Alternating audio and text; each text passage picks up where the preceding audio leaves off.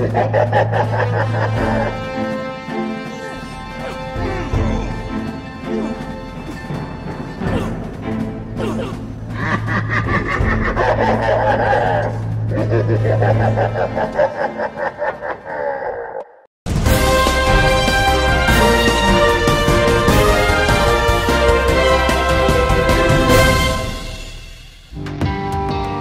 evening, citizens of Los Santos. We are breaking in with some shocking news. Our senator was saved last night from the ninja-dressed criminals. The story doesn't end there. She claims that her saviors were some kind of human-sized ninja turtles. A mutant monsters. We can't confirm anything, but sure be aware of this mentioned kind of creatures. Don't leave your homes if you don't have to. Police forces are just sent to search around the city to find them.